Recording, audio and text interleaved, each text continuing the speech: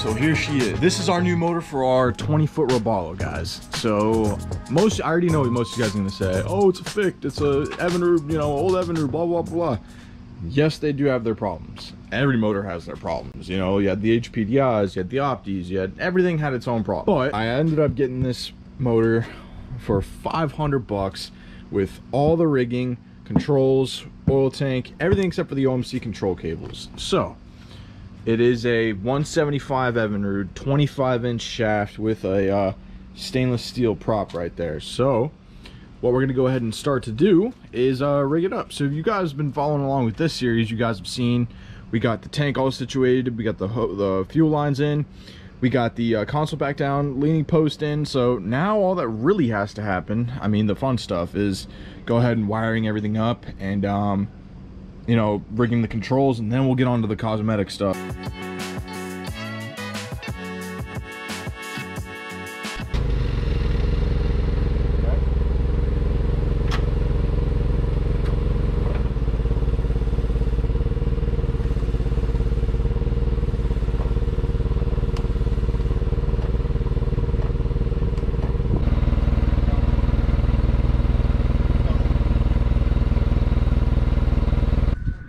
Going ahead and installing the motor, guys, this was actually my first time, well, not first, but you know, first time I guess powering a, a you know a bigger motor on a boat, and it was it was quite an adjustment. You know, we kind of had to make sure the holes lined up, and we did go ahead and seal the screws. I used a uh, just regular silicone. Uh, it, it, wasn't silicone. It was sort of like a 4200, but it was made by a company called Boat Life. And as you guys could tell right here, is we're going ahead and putting on a uh, transom support bracket. I highly recommend you guys use these on your boats.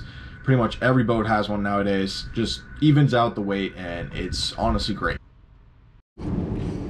So here's our center console layout, guys, and it's gonna have to get a little bit rearranged. So right here's where the controls are gonna go. I just have it taped up right now. Right here's where the old steering wheel went, but with the leaning post, you don't really have too much room right here, and I don't really like it. I mean, I could keep it. I, I might, I, honestly, I might because it's not too terrible. But um, I might keep the steering wheel here. We're probably gonna have our gauges up here. We're gonna have our Garmin up there. Um, but we're gonna go ahead and kind of rearrange our layout here on the center console and probably give it a little bit of a paint job. Um, but we'll see, we'll see, we'll see. So it might actually clean up pretty nice. So what we're gonna go ahead and do is uh, put the control box in and start to rig everything to the motor as far as the fuel water separators, all the harnesses, all that good stuff.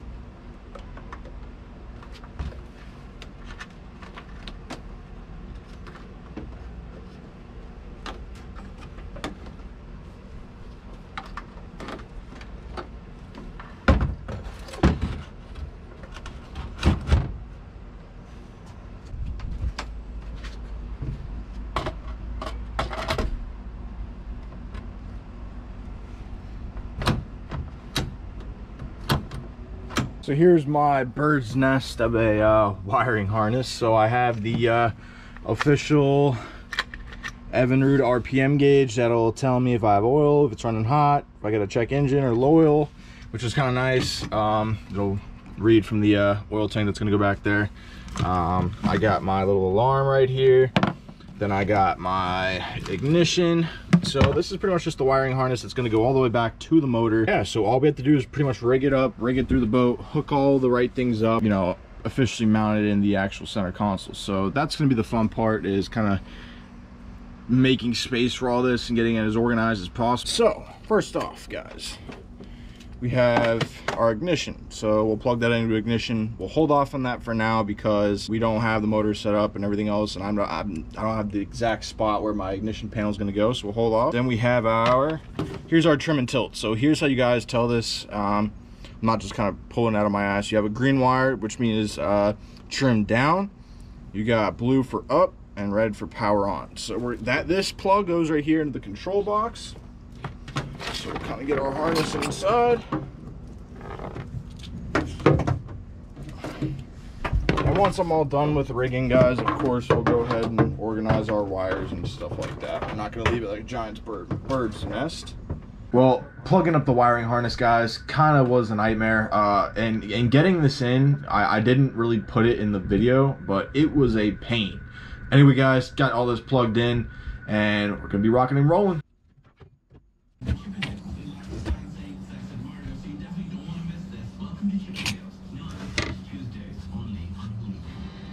So here's the inside of the motor. It actually looks pretty clean. So we got all of our connections for our center console hooked up. The only thing we don't have hooked up is our oil pump that's over there. But we'll worry about that later. But all in all, she's pretty clean, guys. So I got our uh, battery connections on. We got our positive, got our ground. Um, so now here comes the fun part. So we have to get the harness that goes to the motor all the way over here and I'm also going to snake the battery cables on at the same time.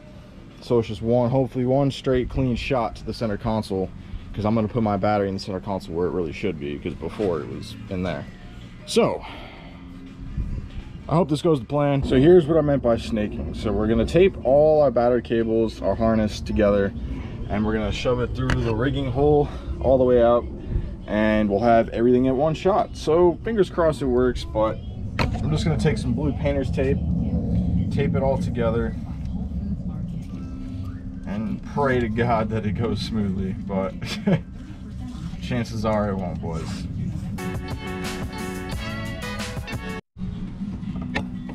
Oh guys, here goes nothing. I got all my Deutsch connectors kind of taped off, got it snaked up. So fingers crossed this works.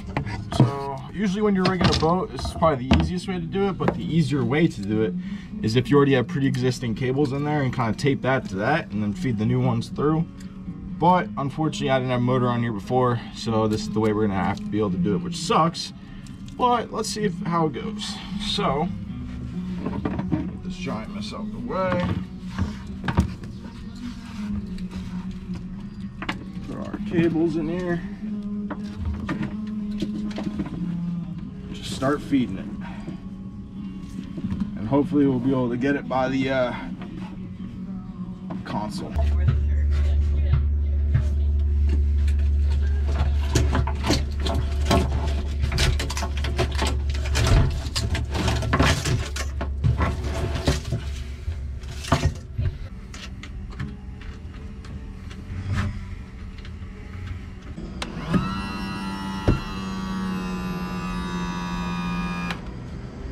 Okay, so motor's getting power, but our trim from our controls doesn't work, which sucks. Okay. Let's see if our key on button works. All right, let's see her start up.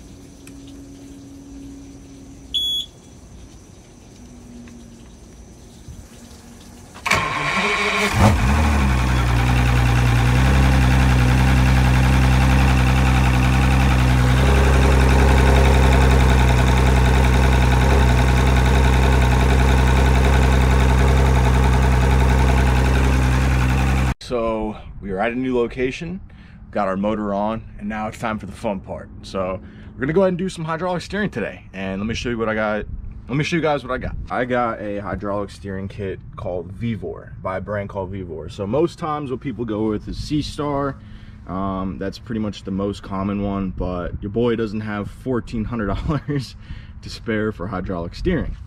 So I was doing a little bit of research and I will show you guys um, in a second here why I went with Vevor because it is literally the same exact thing as a SeaStar and has the same exact part numbers. So we got our cylinder, helm, steering wheel, and all our hardware for 300 bucks. Um, and it actually is, it, it, seems like it's pretty good, good quality and I've watched some reviews online and so far no complaints. So unfortunately it didn't come with hydraulic lines or steering fluids. We got our SeaStar uh, steering fluid, SeaStar lines. Um, but just not the helm and the uh, cylinder. So today we're gonna go ahead and hook everything up and um, get it going. So here's this uh, rod that's gonna go through the actual bracket on the motor. So we're just gonna go ahead and slide this through. All right, and this is for our steering cylinder to connect to. So all right, we got that taken care of.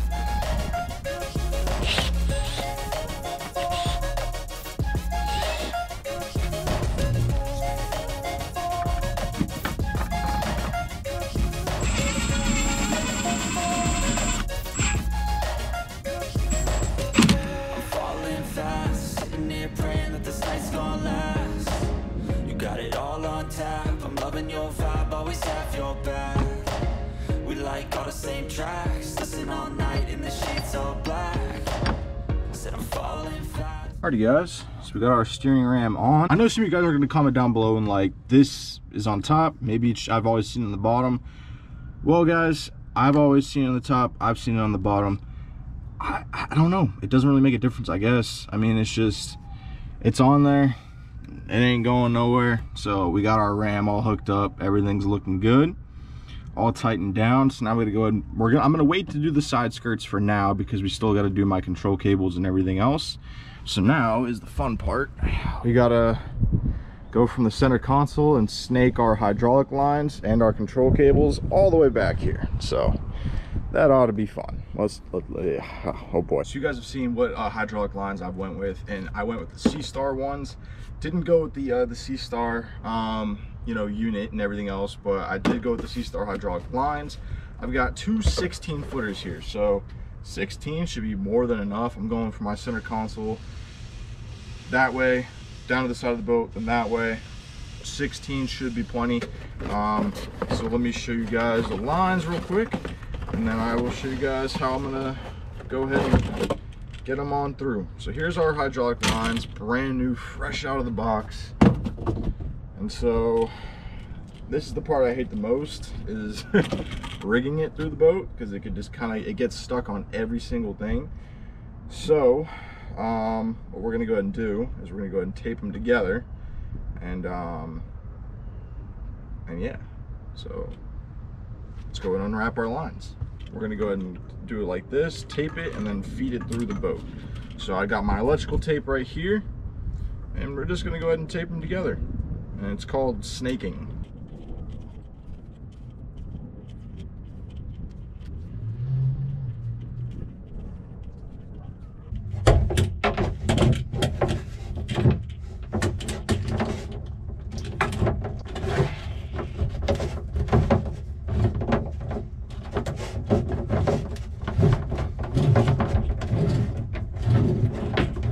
And just like that, guys, our snake is through. Let's go there we are. There's our snake boys. Cool. Caps have to come off. So i marked red on here just in case. I'm gonna do red right just because uh, sounds cool. Um, so we're gonna put red on the right fitting and we're gonna put green on the left. And uh, yeah it's coming together guys. Obviously we're gonna do a lot of cable management because it is a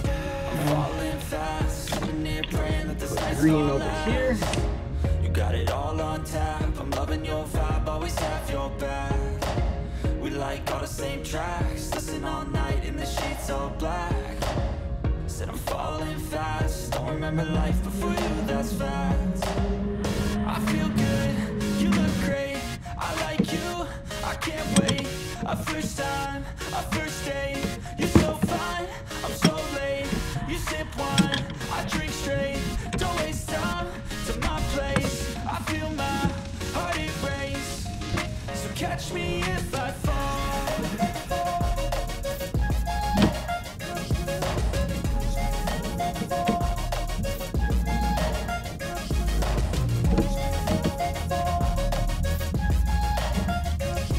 that side.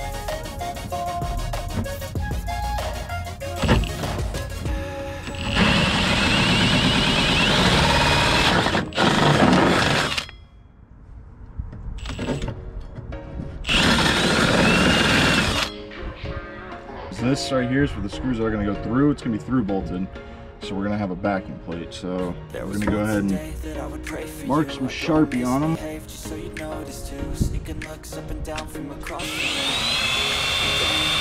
Got our fittings on. Now it's time to go ahead and put the helm in. So just going to go ahead slide it in.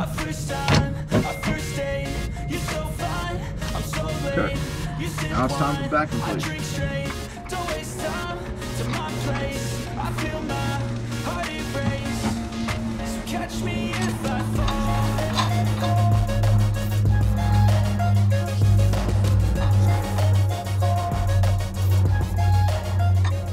Well, we got our Vevor uh, hydraulic helm locked in. It ain't going nowhere. Got the backing plate on, got the, the bolts on, everything else, got the lock nuts. So that thing is nice and sturdy. So let me go ahead and show you guys the setup. So Over here, you guys can see we got our backing plates, lock nuts on. Got our, both of our hydraulic lines, and let me show you guys. My hydraulic lines are a little long. Um, I went like an extra foot or two just to be safe. Um, so what I ended up doing is I ended up rigging them down here over to the side, tie wrapped them there. And look how nice and neat we got this. Tie wrap, tie wrap, tie wrap, all the way down. So the center console is, is a work in progress, guys. Obviously with the harness all over the place, it kind of looks weird, but as we do our wiring and our rigging, I'm gonna make sure all this is nice and neat because I'm kind of like a snob like that now. So uh, work in progress, just want to show you guys the hydraulic lines, but um, now it's time to go ahead and uh, fill her up, see how she works. So here's the steering wheel that came with the kit, guys. Obviously, you know me, this ain't gonna stay on there. Um, I'll pop up a picture on screen of the steering wheel I bought. Um, as you guys can tell, I got that one with the nice, you know, steering knob. It's got the grips on the back, um, stainless steel. So I'm only using this one today, guys, just so we can go ahead and um, get the fluid in um, to the system and get it all going. So rigging this up, we're gonna go ahead and take this little tape off. Now it's very important you guys don't lose this little piece here. This is the key. So it's kind of hard to tell. This is the key right here that makes sure the wheel actually locks into place. So make sure not to lose it. Slide our wheel on.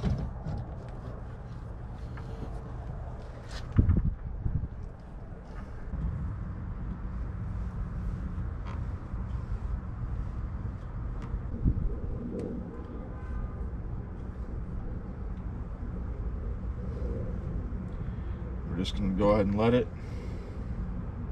fill up the helm.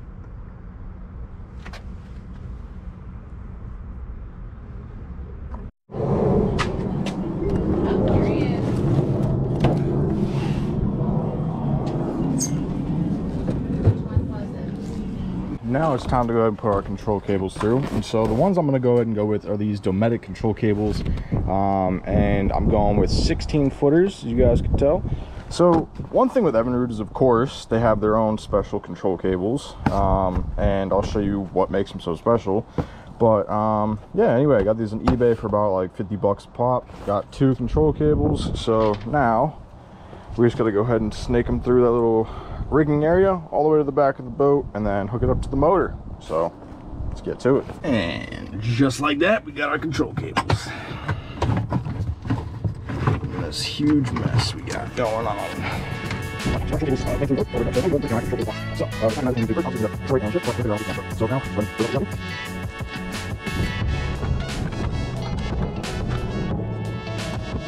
Guys, thank you guys so much for watching this video.